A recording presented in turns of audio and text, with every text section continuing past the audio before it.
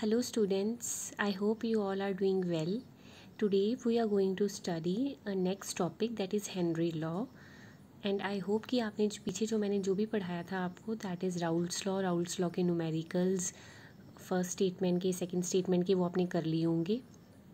तो आज हम पढ़ेंगे बेटा हेनरी लॉ हेनरी लॉ का सिंपल स्टेटमेंट ये थी कि जो मास होता है वो डायरेक्टली प्रोपोर्शनल होता है प्रेशर के.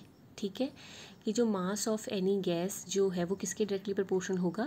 प्रेशर के। कितना सपोज़ आपने कोई गैस को डिज़ोल्व करना है, ठीक है? लिक्विड में किसी गैस को डिज़ोल्व करना है तो कितनी गैस का मास डिज़ोल्व होगा वो डिपेंड करेगा कि आपने कितना प्रेशर अप्लाई किया है। तो mass of gas dissolve is directly proportional to pressure applied ठीक है?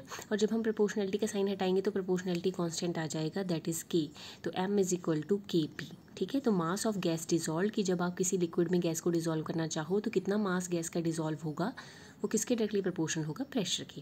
कहता है नाउ अब क्या है कि अगर mole fraction of gas in the solution as a measure of its solubility कहता अब अगर मास की जगह हम मोल फ्रैक्शन ले लें, ठीक है?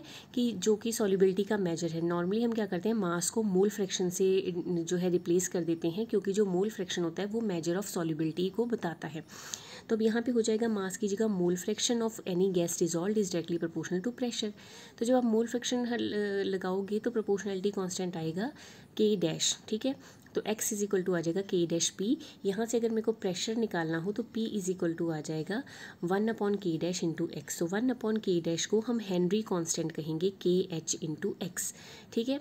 तो मोल फ्रैक्शन क्या बता रहा है आपको कि सॉल्यूबिलिटी कितना मास जो है वो गैस का सॉल्यूबल होगा वो डायरेक्टली प्रोपोर्शनल टू होता है प्रेशर के। और फिर जब प्रोपोर्शनलिटी कॉन्स्टेंट हटाओगे तो proportionality constant one upon K dash आएगा।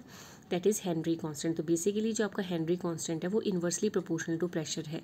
ठीक है? तो अगर हेनरी कांस्टेंट की वैल्यू ज़्यादा होगी तो प्रेशर जो है वो कम लगाना पड़ेगा। अब यहाँ से जो है, क्या डेफिनेशन बनती है कि partial pressure of gas in the vapour phase is directly proportional to mole fraction की। जो partial pressure of any gas है in vapour phase is directly proportional to mole fraction क्योंकि P is equal to K H dot X आ गया। So this is the basic formula जो हमने Henry law में use करना है। ठीक है? अब आगे आ जाता है। बेटा, इसके न्यूमेरिकल्स आते हैं तो डायरेक्ट मैं न्यूमेरिकल्स ही ले लेती हूँ। देखो न्यूमेरिकल दे रखा है if nitrogen gas is bubble through water at two ninety three kelvin how many milli moles of nitrogen gas would dissolve in one litre of water assume that nitrogen exert a partial pressure of zero point nine eight seven bar the K H for nitrogen is two ninety three kelvin seventy six point four eight kilo bar ठीक है? अब देखो, जब यहाँ पे K H आ गया ना तो आपको ये पता लग जाना चाहिए कि हेनरी कांस्टेंट का सवाल है। तो हेनरी कांस्टेंट वाला फॉर्मूला लगाना है। तो हेनरी कांस्टेंट का फॉर्मूला आपको डायरेक्टली याद आना चाहिए कि mole fraction of any gas is directly proportional to pressure of the gas ठीक है? अब यहाँ पे जो गैस है, वो किसकी, कौन सी दे रखी है? नाइट्रोजन तो mole fraction of nitrogen is directly proportional to pressure of the nitrogen तो ये आपके दिमाग में इंस्टेंटली क्लिक करना चाहिए।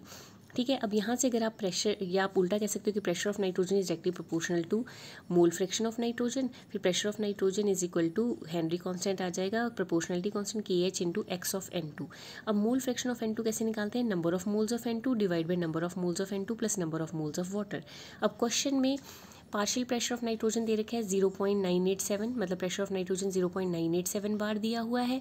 हेनरी कांस्टेंट दे रखा है seventy six point four eight okay और जो टोटल जो वॉल्यूम दे रखा है वन लीटर दे रखा है, ठीक है?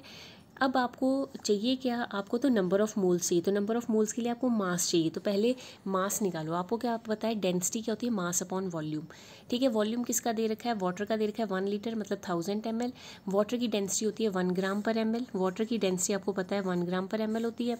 तो one gram per M L density है मास अपॉन वॉल्यूम लगाओगे, यहाँ से मास ऑफ़ वाटर आ जाएगा थाउज़ेंड ग्राम ठीक है? अब देखो फॉर्मूला आपने लगाया pressure of nitrogen is equal to ये K H into number of moles of nitrogen divide by number of moles of nitrogen plus number of moles of water ठीक है? तो यहाँ पे आपने प्रेशर ऑफ़ नाइट्रोजन भर दिया zero point nine eight seven bar यहाँ पे seventy six point four eight kilo bar को आपने seven six four eight zero bar में चेंज कर लिया। Number of moles of nitrogen आपने निकालने हैं, प्लस पानी के नंबर ऑफ़ मोल, पानी का मास डिवाइड बाई पानी का मोलर मास, पानी का मास आया थाउज़ेंड ग्राम, मोलर मास होता है एटीन तो thousand by eighteen fifty five point five आ गया। तो अब यहाँ से सारी वैल्यूज़ पुट करने के बाद आपके पास number of moles of nitrogen आएँगे seven point one six into ten raise to power minus one moles question में कहा था कि आंसर आपने मिली मोल्स में निकालना है तो seven point one six into ten raise to power minus one milli moles आपका आंसर आ जाएगा। ठीक है? तो इस तरह से सब कुछ आपको गिवन था। प्रेशर भी नाइट्रोजन का गिवन था हेनरी कांस्टेंट भी गिवन था। जैसे ही आपने हेनरी कांस्टेंट देखा, आपके दिमाग में स्ट्राइक करना चाहिए फॉर्मूला कि X mole fraction of nitrogen is directly portion to partial pressure of nitrogen तो यहाँ से आपका सारा क्वेश्चन सॉल्व हो जाएगा। अब सेकेंड क्वेश्चन पे बढ़ते हैं। हेनरी कॉन्स्टेंट फॉर ऑक्सीजन इतना दे रखा है। If partial pressure of oxygen इतना लो जी हेनरी कॉन्स्टेंट दे रखा है तो मतलब कि हेनरीज लॉ वाला फॉर्मूला लगना है। पार्शियल प्रेशर भी ऑक्सीजन का दे रखा है। अब निकालना क्या है? कंसनट्रेशन निकालनी है हमने ऑक्सीजन की। ठीक है? तो बस देखो K H for oxygen Henry constant दे रखा है four point three four into ten raise to power four temperature पच्चीस डिग्री सेल्सियस दे रखा है. Partial pressure of oxygen zero point two atmosphere दे रखा है.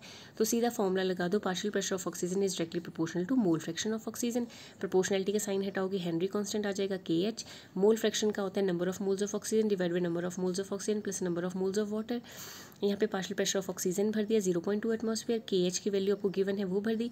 Number of moles of oxygen दिए नहीं है। पानी के नंबर ऑफ़ मोल्स अभी पिछले क्वेश्चन में ही निकाले थाउज़ेंड बाई एटीन करके फिफ्टी फाइव पॉइंट फाइव जो है पानी की मोलरिटी होती है तो वो लिख देना है।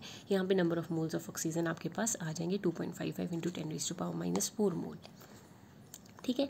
नेक्स्ट क्वेश्चन है dry air contain seventy nine percent nitrogen and twenty one percent oxygen लो, अब इसमें दो गैसेज दे दी हैं, एक नाइट्रोजन है और एक ऑक्सीजन है। Seventy nine percent nitrogen and twenty one percent oxygen कहता, आपने निकालना क्या है? आपने मोल फ्रैक्शन निकालना है नाइट्रोजन का और ऑक्सीजन का, ठीक है?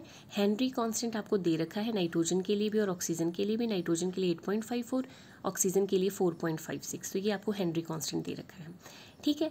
तो अब आपको पता है बेटा, अगर आपको दोनों के लिए अलग अलग हेनरी कांस्टेंट दे रखा है नाइट्रोजन का अलग दे रखा है ऑक्सीजन का अलग दे रखा है तो नाइट्रोजन का जो है, आप पार्शल प्रेशर अलग निकालोगे ऑक्सीजन का पार्शल प्रेशर अलग निकालोगे। अब आपको पता है पार्शल प्रेशर ऑफ़ नाइट्रोजन क्या होगा? K H into mole fraction of nitrogen and partial pressure of oxygen क्या होगा? K H into mole fraction of oxygen partial pressure of nitrogen K H आपको दे रखा है के एच तो आपको दे रखा है eight point five four into ten raise to power four and यहाँ पे के एच दे रखा है four point five six into ten raise to power four लेकिन बेटा पहले बात uh, ये तो फॉर्मूला है। ये हमने पहले पार्शियल प्रेशर ऑफ़ नाइट्रोजन निकाला क्योंकि पार्शियल प्रेशर ऑफ़ नाइट्रोजन हमें दिया नहीं है। हमें कहा गया है seventy nine percent of nitrogen है और twenty nine percent of oxygen है और प्रेशर ऑफ़ जो गैस है वो दे रखा है वन एटमॉस्फेयर ठीक है? तो पार्शियल प्रेशर ऑफ़ नाइट्रोजन क्या आएगा? वन एटमॉस्फेयर का सेवेंटी नाइन परसेंट ठीक है? क्योंकि टोटल प्रेशर हमें दे रखा है वन एटमॉस्फेयर तो नाइट्रोजन का प्रेशर कितना आएगा? वन एटमॉस्फेयर का सेवेंटी नाइन परसेंट तो पार्शियल प्रेशर ऑफ़ नाइट्रोजन आपके पास यहाँ क्या आ गया?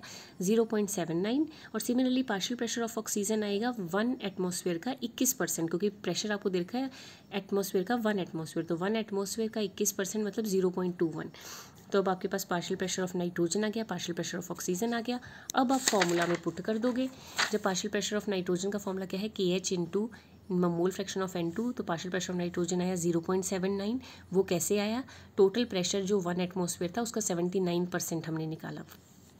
के एच आपको गिवन है number of moles of nitrogen number of moles of nitrogen plus number of moles of oxygen ठीक है? तो ये टोटल मोल फ्रैक्शन ही निकाल लो, क्योंकि हमें मोल फ्रैक्शन निकालने को ही कहा है, ठीक है? क्योंकि ना तो हमें ऑक्सीजन के नंबर ऑफ़ मोल्स पता है, ना ही हमें नाइट्रोजन के नंबर ऑफ़ मोल्स पता है तो मैं इसको छेड़ूँगी नहीं, मैं एक्स एन टू ही रखूँगी, इसको एक्स एन टू और ये हेनरी कॉन्स्टेंट को यहाँ नीचे ले जाऊँगी तो number of moles of nitrogen आएँगे nine point two five similarly जब partial pressure of oxygen निकालूँगी K H into X of O two तो पार्शियल प्रेशर ऑफ़ ऑक्सीजन आ गया ज़ीरो पॉइंट टू वन क्योंकि वो एटमॉस्फेरिक प्रेशर का twenty one percent था।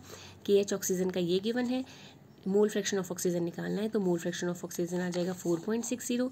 आपको बोला है, रेशो निकालो, क्वेश्चन में पूछा था, रेशो निकालो नाइट्रोजन और ऑक्सीजन के मोल फ्रैक्शन का। नाइट्रोजन का मोल फ्रैक्शन आया nine point two five into ten raise to power minus six oxygen का मोल फ्रैक्शन आया फोर पॉइंट सिक्स ज़ीरो, दोनों का रेशो आ जाएगा टू इज़ टू वन तो ये आपका आंसर है। तो इस तरह से आपने हेनरी कांस्टेंट के न्यूमेरिकल करने हैं। हेनरी कांस्टेंट कैसे पता लगेगा? अगर हेनरी कांस्टेंट गिवन होगा तो आपको पता लग जाएगा कि आपने फॉर्मूला क्या लगाना है कि partial pressure of any gas is directly proportional to mole fraction और उसी से आपके सारे न्यूमेरिकल सॉल्व हो जाएँगे। Okay thank you